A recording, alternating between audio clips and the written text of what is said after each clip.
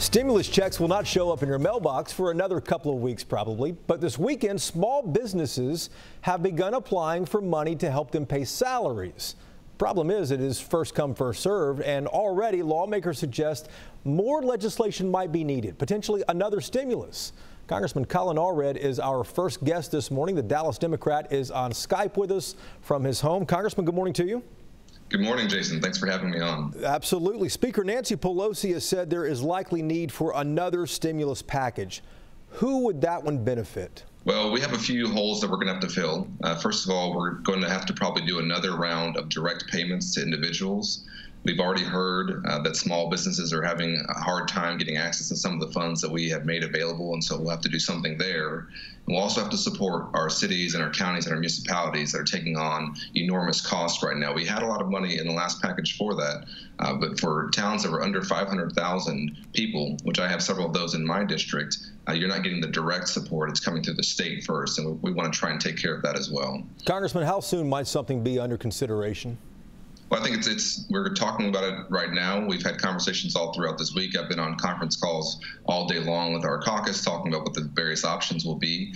Uh, this is what we're considering to be the mitigation phase of this, where we're trying to get through the immediate crisis that we have, uh, and then we will move into the recovery phase, uh, which you've actually, I think, seen the president talk about as well, which is potentially doing something on infrastructure, uh, trying to recover uh, as we come out of this, and will likely be in a worldwide uh, recession. Let's talk about this first stimulus that's out there now. It's called the CARES Act. Do you think this will be enough to keep small businesses afloat for the next two or three months? Well, the intention uh, is to create the Paycheck Protection Program, uh, which is hundreds of billions of dollars that we put into this program to allow small businesses to keep folks employed, to keep them on the books. And if they've already laid off those folks, they can bring them back and they can get access to this loan and have that loan forgiven. And so the idea here is to keep people paid through this immediate crisis. But if the money's not getting out there, or if the administration of the process is too clunky, then we understand uh, that that's going to get in the way. And so that's what I'm watching to see.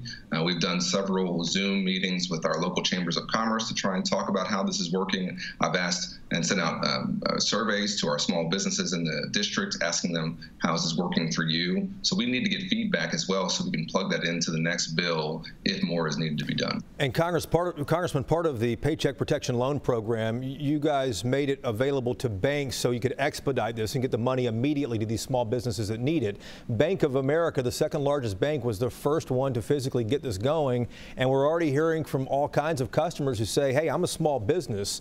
I don't have any debt, and because of that, I cannot apply for this. Apparently, Bank of America is telling us that they're only processing loans for stimulus if you have a previous loan from them. So you have to have debt in order to uh, qualify for a loan.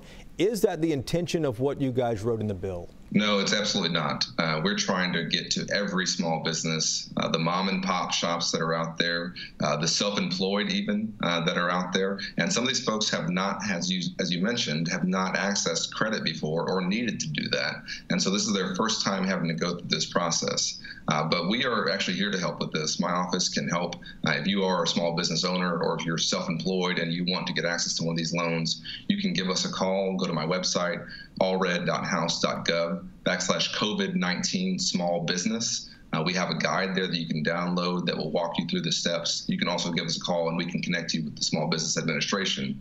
Uh, but to the lenders out there, uh, we're going to have to oversee what they're doing and make sure that it's not just the most sophisticated folks who are getting access to this funding, because those are also the folks that will probably be, the, be able to handle this crisis the best. We need to get this out there to the folks who are employing people and get it out there as soon as we possibly can. And to reiterate, Congressman, is there a message you have for Bank of America or for anyone else that might prioritize some of their small businesses over others? Well, I understand that they have existing relationships but that should not be the, the, number one criteria here. There's enough money available that as long as they have capacity to take loans and to take applications, they should be issuing those loans as quickly as possible. These are 100% federally backed loans. They are in no danger of losing any money as a bank, uh, and we have to get this money out there uh, to make sure that we keep people employed through this crisis. Otherwise, we're going to see huge spikes, as we already have, of course, in unemployment and reliance on other government programs, uh, and we're trying to keep these folks employed so that when we restart the economy, they can get right back to work and we won't have as long of a period of ramping back up.